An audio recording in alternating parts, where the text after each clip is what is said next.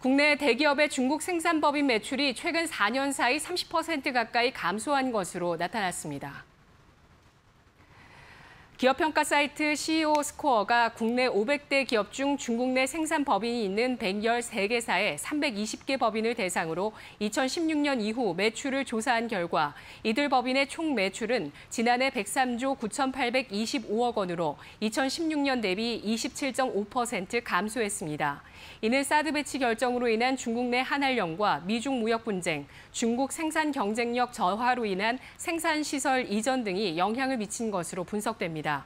업종별로는 자동차 부품 업종의 감소폭이 가장 컸으며 기업별로는 삼성전자의 중국법인 매출이 스마트폰 생산 중단 결정에 따라 가장 많이 감소했습니다.